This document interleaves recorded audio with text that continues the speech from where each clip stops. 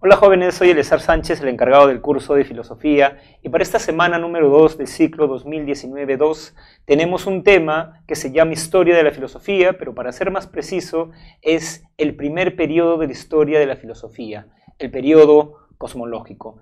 En este video vamos a resolver las preguntas y la lectura de la separata, pero es recomendable que primero ustedes vean el video de teoría para que sí puedan seguirme con más solvencia en este video. Antes de comenzar con, responder las preguntas, quisiera hacer una suerte de resumen de lo que ustedes han visto en su video de teoría. A ver, una de las cosas que les debió quedar claro o clara la semana pasada es que no es para nada sencillo para los filósofos definir qué es la filosofía, porque existen tantas definiciones de filosofía como filósofos hay. Entonces, como no sabemos en sentido estricto qué es la filosofía, me parece muy atinado que la separata luego comience con la historia de la filosofía, porque la idea más o menos es la siguiente. Como no sabemos qué es la filosofía, veamos qué hacen los filósofos, apuntando sobre todo a tres ideas. Primero, sobre qué reflexionan, objeto de estudio. Segundo, cómo reflexionan, de qué manera lo hacen, la metodología.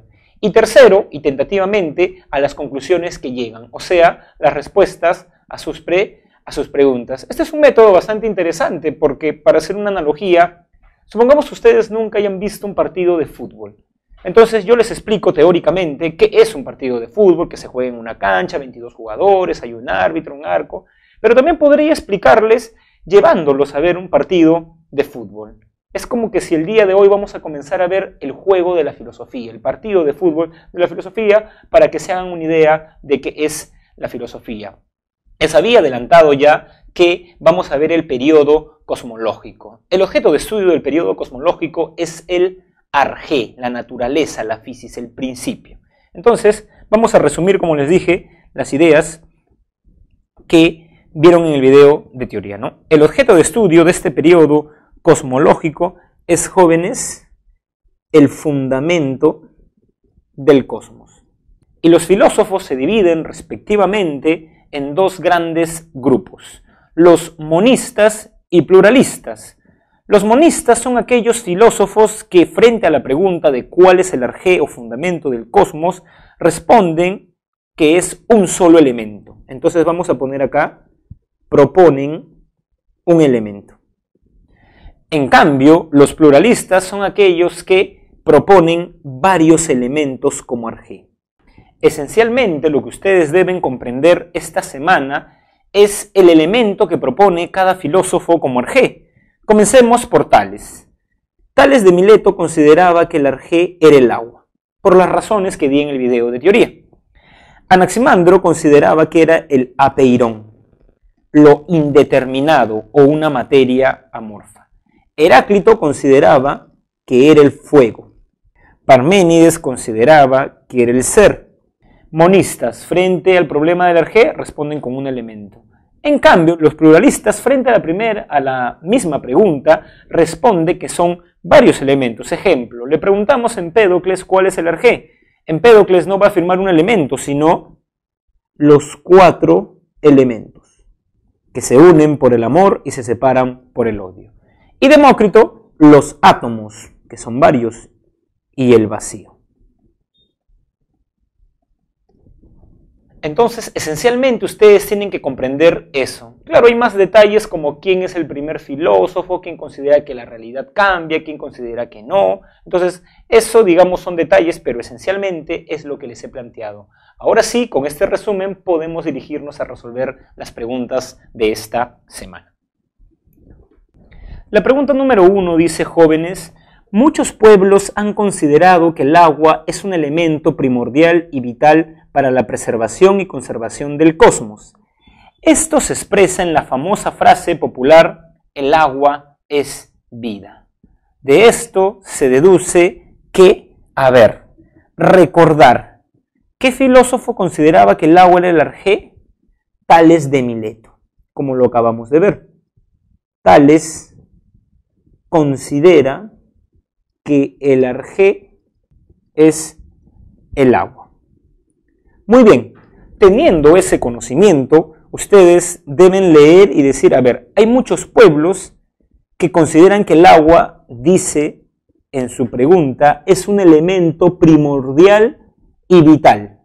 ¿Cuáles son estos pueblos? Por ejemplo, muchos pueblos indígenas de México consideraban que el agua era un elemento sagrado de la vida. Acá en la cosmovisión andina, por ejemplo, tenemos que los incas tenían una deidad que se llamaba Iyapa, que era el dios del clima, y que se creía, además, que hacía llover desde el espacio con agua que guardaba en una jarra. También está el dios preinca del agua, Pariacaca, y también está la diosa Coparati, que es la diosa de los lagos. O sea, en todas las culturas existe un dios del agua y muchas veces este dios es uno de los dioses fundamentales que crea el, el cosmos. Muy bien, de esta idea de Tales y de esto que nos enuncian en, digamos, su pregunta, ¿qué se deduce? Nos interrogan. A. Que muchas culturas estarían de acuerdo con la tesis de que Tales, eh, la tesis que Tales planteó acerca del agua, desde eh, de acuerdo, porque Tales considera que el agua es el arjé y muchas culturas consideran al agua fundamental. Por eso es la alternativa A, la alternativa correcta. ¿Por qué, profesor, no es correcta la alternativa B? Veamos. Anaximandro tenía razón acerca de que el arjé es indeterminado y desconocido. Eso es verdad respecto a Anaximandro, pero tiene que ver con lo que nos han enunciado en la pregunta. No, y por eso no es la clave. C. El agua está en constante cambio y es el mejor elemento que representa el devenir. Eso suena Heráclito. Muy bien, Heráclito habla del devenir, pero para Heráclito ¿es el agua el arjé? No, es el fuego y D. Las ideas de Tales sobre el arjé están en contraste, se oponen con la cultura popular. No se oponen porque la cultura popular también considera que el agua es vida, es elemento fundamental y por eso no podría ser la D. Pregunta número 2. Un profesor de filosofía señala lo siguiente en una clase. El escultor utiliza el mármol para hacer una estatua y el carpintero necesita de la madera para producir una silla. De la misma forma, advirtió un filósofo griego, el cosmos necesita de una materia primigenia. El detalle es que no sabemos qué forma tuvo en sus inicios. Por lo tanto, este pensador concluyó que el arjé debía ser una materia indeterminada. Se deduce que el filósofo griego al que hace referencia el profesor de filosofía es, a ver, acá de nuevo tenemos que recordar, como lo dice o lo enuncia la pregunta, que el cosmos, sin lugar a dudas, es materia. Pero para este pensador que tenemos que hallar, ¿no? Señala que en sus inicios el cosmos fue una materia indeterminada. El carpintero encuentra la madera indeterminada y le da forma, lo mismo que el escultor con el mármol. Recuerden el siguiente argumento. Hay un filósofo que señala que el mundo es determinado en el sentido que el mundo tiene forma.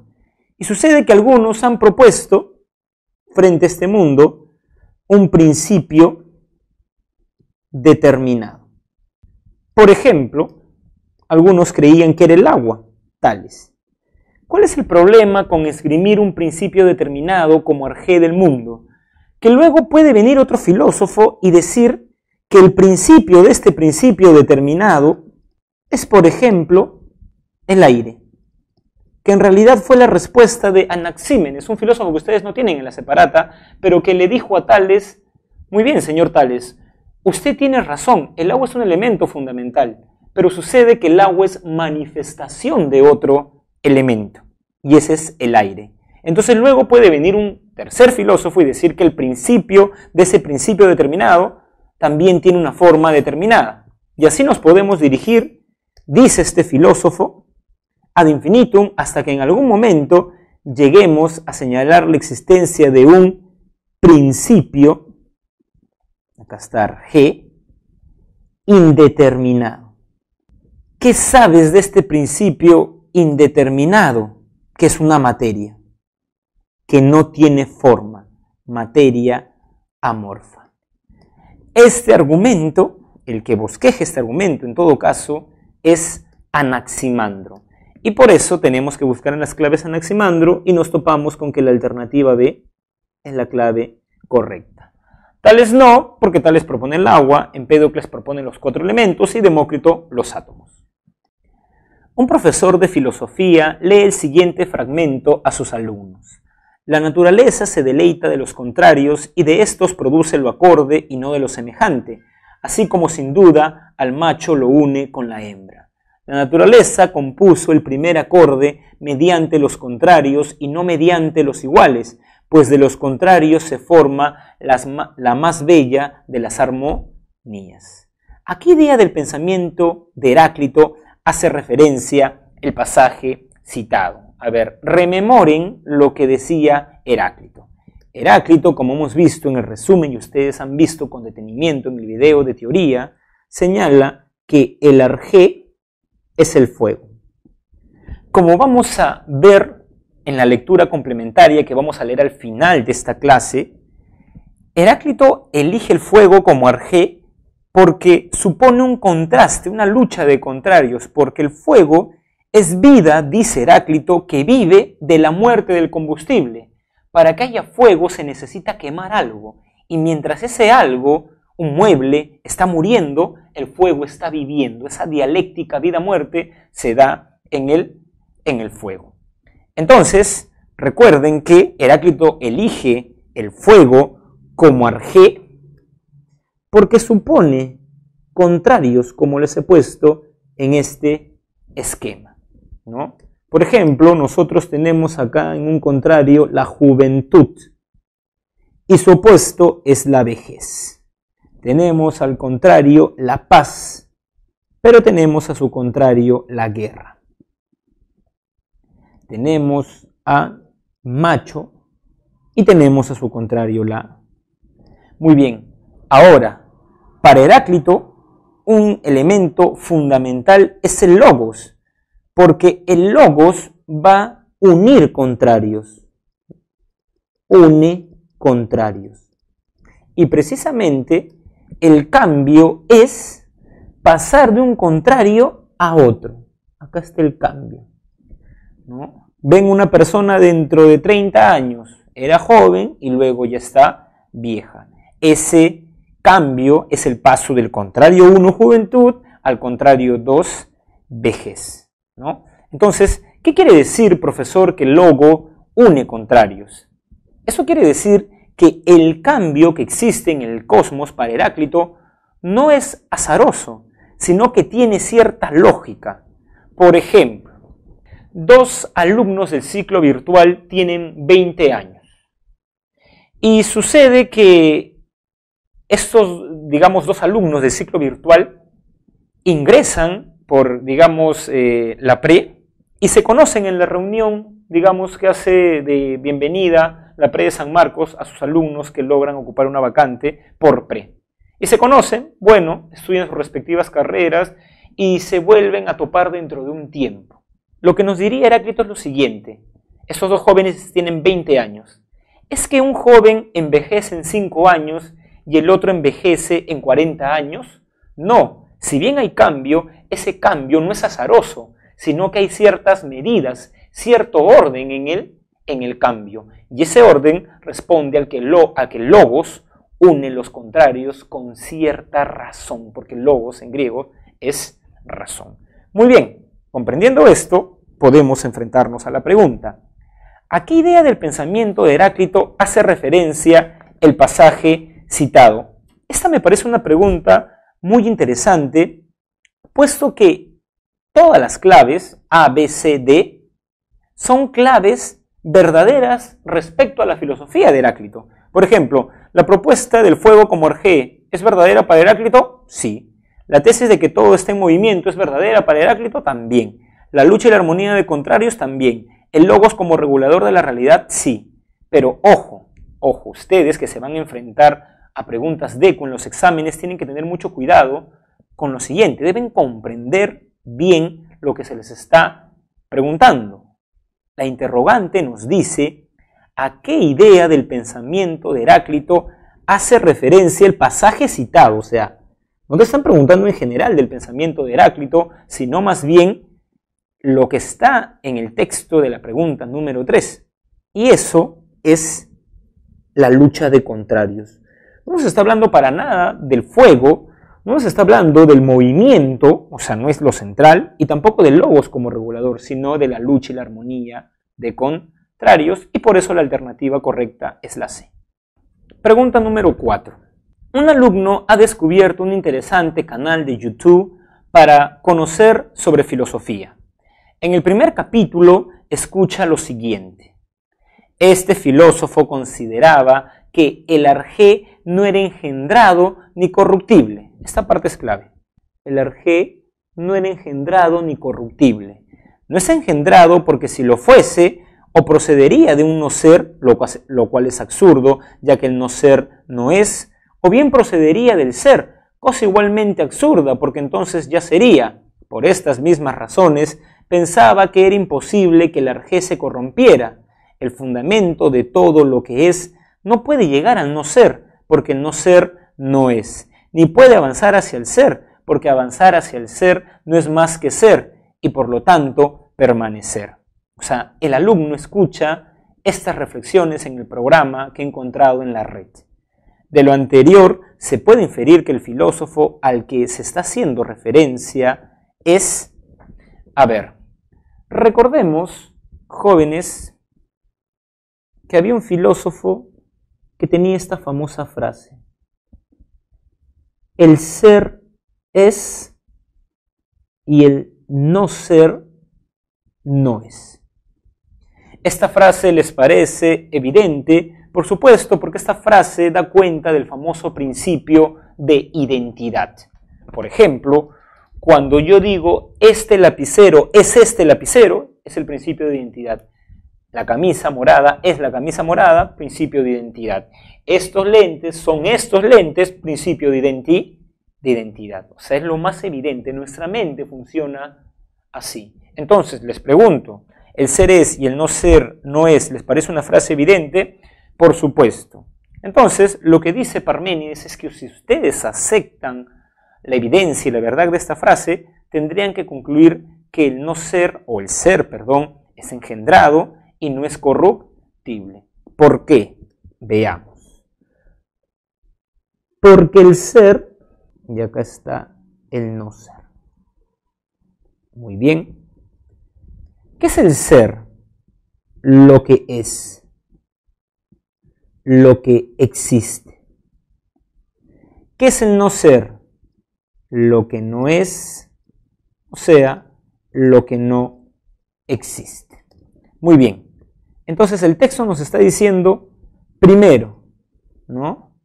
que este filósofo consideraba que el arjé no era engendrado, o sea, el ser no es engendrado. ¿Por qué el ser no es engendrado? Por ejemplo, yo fui engendrado, nací en un momento, en un punto de la historia. Yo nací en el año 1989. Bien, en el año 85 yo no era. Entonces, las cosas que nacen en algún momento no fueron. Profesor, yo nací en el 2000. Bien, en el año 95 ustedes no eran, no existían. Entonces, lo que nace en algún momento no es. Si nosotros asumimos que el ser ha nacido en un momento determinado, ha sido engendrado, supongamos que el ser nació en el siglo I. En el siglo II antes de Cristo, el ser no existió. Pero si el no ser no existe, ¿cómo podría ser eso? Entonces, Parménides dice que es imposible. El ser es eterno, no es engendrado. Y su argumento fundamental es que el ser ¿no? no es corruptible, no se corrompe. El ser no se corrompe.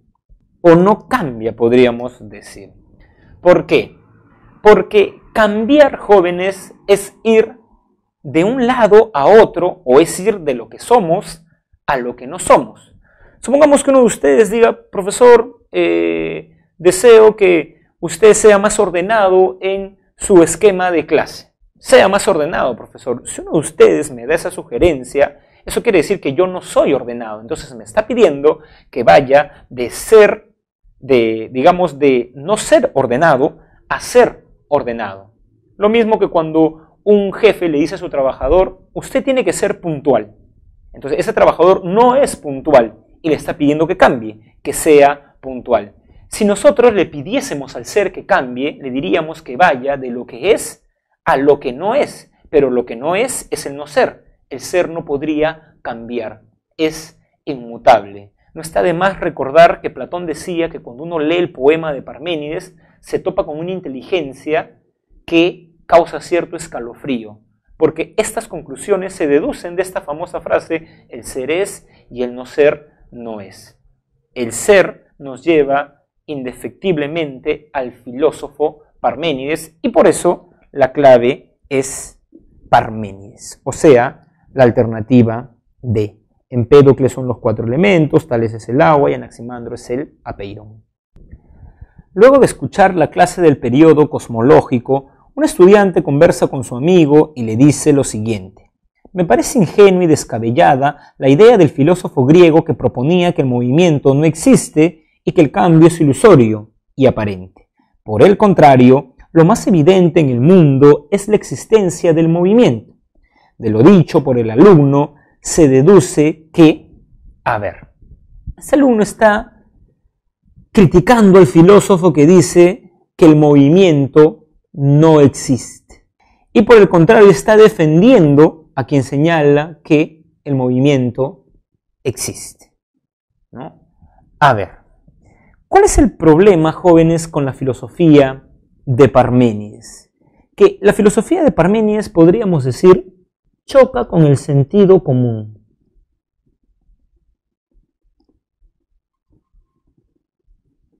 ¿Por qué? Porque Parménides dice el movimiento no existe. Pero profesor, el otro día eh, me detuve en un puente y vi que los carros se movían. ¿no? Estaba sentado en un parque y vi que las aves volaban, se desplazaban. Es más, profesor, cuando usted habla, mueve las manos. O sea, Parménides dice que el movimiento no existe, pero nuestros sentidos nos dicen que el movimiento existe. Por eso la filosofía de Parménides va en contra del sentido común, porque nuestros sentidos nos dicen que el movimiento existe, pero de pronto un filósofo nos dice que no existe. Por eso, en esta primera parte, se está cuestionando a Parménides. Se cuestiona a Parménides. Y cuando se señala que lo más evidente es el cambio y el movimiento, se está a favor de qué filósofo? De Heráclito, ¿no? Muy bien. A favor de Heráclito. Entonces veamos las claves.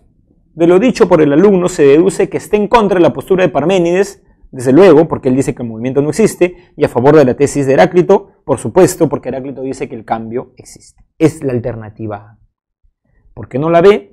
Cuestiona la idea de inmutabilidad del ser que propone Anaximandro. Anaximandro no propone la inmutabilidad del ser, sino Parménides. Declara su afinidad por la propuesta de Tales que sugiere como Arge al fuego, Tales sugiere como Arge al agua. Muestra interés por la filosofía de Empédocles, ya que explica el movimiento. Bueno, Empédocles explica el movimiento, pero la primera parte de Parménides no está, y por eso la alternativa A es la alternativa correcta. Pregunta número 6. Empédocles propone cuatro elementos como arjé, los cuales tienen las características de la inmutabilidad del ser. Asimismo, este filósofo sostuvo la existencia de las fuerzas del amor y el odio que se unen y separan, de modo tal que el movimiento existe. Por lo tanto, se puede afirmar que Empédocles pretendía, a ver, en esta primera parte del enunciado dice, Empédocles propone cuatro elementos, los cuales tienen las características de la inmutabilidad del ser. O sea, los cuatro elementos de Parménides son inmutables. O sea, no cambian. Como el ser, podríamos decir. Tienen las características del ser, porque es inmutable. Pero por otro lado, si continuamos leyendo el texto, dicen que el amor y el odio une, une y separa esos elementos. Entonces, los, digamos que el amor y el odio tienen las características o permiten el movimiento. O sea, por un lado, Parménides está diciendo que hay elementos inmutables como el ser, o sea, le está dando la razón en cierta parte a Parménides, pero por otro lado está diciendo que estos elementos inmutables por el amor y el odio cambian, o sea, está dando también la razón a Heráclito. Entonces vamos a ver qué clave es afín a lo que hemos planteado. Por lo tanto, se puede afirmar que Empédocles pretendía seguir las ideas de Homero y Hesiodo sobre el arjé, no porque Homero y Hesiodo no son filósofos, si bien dan respuestas, lo hacen basándose en los mitos, o sea, ellos están en el mito, y nosotros cuando hablamos de filosofía ya estamos en el logos. Suscri o sea, Empédocles pretendía suscribir únicamente las ideas de Parménides. Bueno, si hubiera suscrito solamente las ideas de Parménides, hubiera dicho que los cuatro elementos son inmutables y que el movimiento no existe, pero vemos que no, porque el amor y el odio permiten el movimiento. C. Negar radicalmente las ideas de Heráclito, si hubiera negado las ideas de Heráclito, no diría que el movimiento existe. Concilia las posturas de Parménides y Heráclito, sí, porque le da en cierta medida la razón a ambos, y por eso la alternativa correcta es la D. Dos profesores conversan sobre las respuestas que los filósofos del periodo cosmológico ofrecen sobre el arjé. De todas las opiniones, el primer profesor se muestra a favor de la idea del pensador que proponía al agua como arjé. El segundo profesor no comparte su opinión pues se siente más inclinado hacia la tesis del filósofo que consideraba que el arjé son los átomos. ¿Con qué filósofos están de acuerdo respectivamente estos dos profesores? A ver, el primer profesor dice que el arjé es el agua. Eso quiere decir que él está de acuerdo con Tales de Mileto. O sea, es un monista. Muy bien. En cambio, el segundo profesor habla de los átomos, lo que quiere decir que está de acuerdo con Demócrito. O sea, es simpatizante de los pluralistas. Recordemos, no está de más recordar que los átomos son esas partículas indivisibles que son el compuesto de la realidad. O sea, toda la realidad está compuesto de átomos. Esto está compuesto de, de átomos. Sin embargo, Demócrito se da cuenta de algo, que para que los átomos se muevan necesitan de vacío, porque si, si la realidad estuviera repleta de átomos, no podrían reagruparse los átomos, pero si pueden reagruparse es porque hay vacíos entre ellos. Incluso Carl Sagan, este famoso divulgador de ciencia en su muy conocida serie, muy recomendable además, Cosmos, dice que cuando uno parte una manzana, tenemos una manzana y la partimos en dos, el cuchillo puede pasar por la manzana porque pasa por los vacíos o por el vacío que hay entre los, entre los átomos. Entonces recordemos que en sentido estricto el arjé son los átomos y el va y el vacío. Por eso sabemos que el primer profesor está de acuerdo con Tales y el segundo está de acuerdo con Demócrito, lo que nos lleva a considerar la respuesta correcta, la alternativa D. Un estudiante universitario piensa que solamente la razón nos conduce al conocimiento de la realidad, es decir, a la verdad, y que por el contrario los sentidos nos muestran a través de los cambios una aparente realidad. Por lo tanto, el razonamiento de este estudiante concuerda con la filosofía de, a ver, el ser o la realidad es inmutable no cambia. Eso, digamos, lo dice Parménides. Ahora, Parménides era muy claro al sostener que yo cuando afirmo esto, lo hago por la razón, porque la razón me hace entender, como hemos explicado a propósito de una pregunta, que si el ser cambia iría a lo que no es, pero lo que no es es el no ser y el no ser no existe. Por eso, la razón conduce a la verdad, dice Parménides. En cambio, si tú crees que la realidad cambia, por ejemplo, profesor, ve un árbol, ¿no? El árbol no es el mismo durante el año. En verano las hojas están más verdes, luego las hojas se vuelven marrones, luego las hojas se caen, las estaciones, el frío, no sé, el sol se mueve. Muy bien.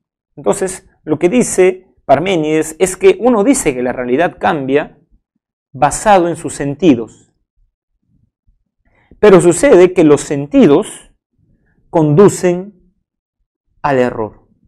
Esto es lo que Parménides llama en su famoso poema los dos caminos, la vía del error, los sentidos, y la vía de la verdad, la ra, la razón. Entonces este joven universitario que dice que la razón nos conduce a la verdad y los sentidos a la apariencia de la realidad, está, sin quizás saberlo, basándose en este gran filósofo griego Parménides.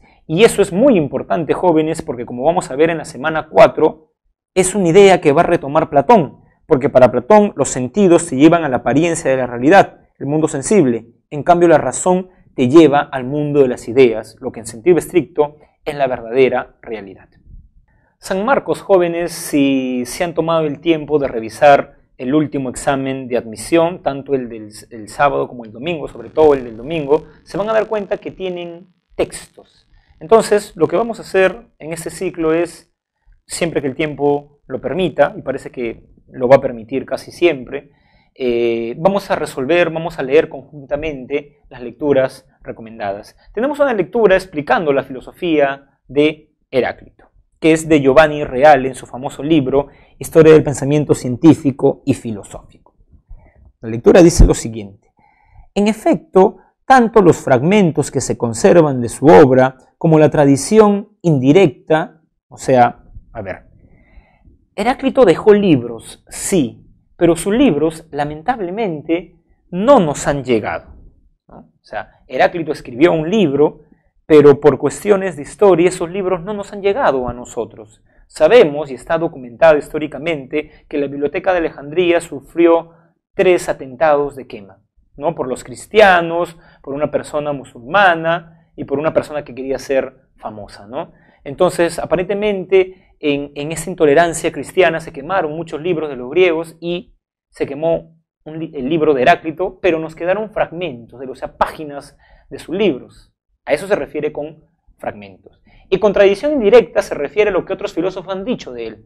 Por ejemplo, Platón dice en el Tetetos, Heráclito consideraba que el fuego es el arjé. Aristóteles dice en la metafísica, y eso es la tradición indirecta. Entonces, lo que está diciendo Giovanni Reale es que tanto los fragmentos del mismo Heráclito como la tradición indirecta, Platón, Aristóteles, eh, Teofrastro, después quien está Diógenes de Laercio, todos estos filósofos posteriores dan cuenta de que para Heráclito el fuego era el arjé. Entonces, indican con claridad que Heráclito ha elegido el fuego como principio fundamental y ha considerado que todas las cosas son transformaciones del fuego. Y ponen un fragmento para probar ello. Del fuego proceden todas las cosas y, del, y el fuego de todas, al igual que del oro las mercancías y de las mercancías el oro. Otro fragmento, este orden que es idéntico para todas las cosas, no las creó ninguno de los dioses ni de los hombres, sino que siempre ha sido, es y será fuego eternamente vivo, que se enciende según medidas y según medidas se apaga. El motivo por el cual Heráclito adjudicó el fuego eh, al fuego la naturaleza de todas las cosas es algo obvio. El fuego expresa, o sea, esto es interesante porque un alumno podría preguntar, y me lo han preguntado, confieso, profesor, pero el agua también, dicen algunos, algunos alumnos dicen, profesor, pero también el agua da cuenta de cierto cambio. ¿Por qué Heráclito elige el fuego como el, símbolo del cambio si hay otros elementos en la naturaleza que también lo prueban? Acá viene la respuesta a esta pregunta, si es que se la han formulado. Que el fuego expresa de modo ejemplar las características de la mutación continua, el cambio continuo, y del contraste y la armonía. El fuego se halla en, constante movimiento. Y eso que viene es interesante. El fuego es vida. Sí, es vida, como les dije, es vida que vive. Es vida que vive, pero ojo, vive de la muerte del combustible. Para que el fuego viva necesita consumir una silla de madera. Mientras la silla muere, el fuego vive. Esa lucha de contrarios la expresa muy bien el fuego y por esa razón, aparentemente, Heráclito eligió al fuego como arge. Es vida que vive de la muerte del combustible, es una continuidad, una continuada transformación de este en cenizas, en humo y en vapores. Es como afirma Heráclito de su Dios, perenne. Considerando la lectura anterior, es correcto afirmar que Heráclito A. Evitó pronunciarse acerca de la G del cosmos por ser un tema muy complejo, entonces ¿por qué la mayoría dice que él defiende que es el fuego? No tiene sentido la, alternativa A. B. Elige el fuego como arjé porque representa la lucha de contrarios, esa es la clave, ¿no? La razón representa esos contrarios, esa lucha entre ambos contrarios. Apuesta por el fuego como principio que representa el sol, eso no tiene que ver nada con la lectura que hemos visto. Propone el fuego como fundamento para refutar el Heráclito, tampoco. Entonces, jóvenes, hemos visto las ideas fundamentales del primer periodo de la filosofía, y no está de más decirlo, hemos visto sobre todo sus ideas respecto a las reflexiones en torno al arjé, porque ojo, estos filósofos tienen reflexiones también científicas. Por ejemplo, Anaximandro fue el primero que dibujó un mapa y el mismo Anaximandro también se suele decir en los manuales que tuvo una intuición de la teoría de la evolución, porque decía que el hombre proviene de los, de los peces. Esa vena científica de estos primeros filósofos no la hemos visto porque ese es un curso de filosofía, pero si quieren conocer estas reflexiones, podrían ver el primer programa de, de la serie Cosmos, El paso del mito a Logos, donde Carl Sagan le dedica eh, un capítulo a estos filósofos, pero como Carl Sagan es científico, lo hace desde la, desde la ciencia. Nos vemos la siguiente semana.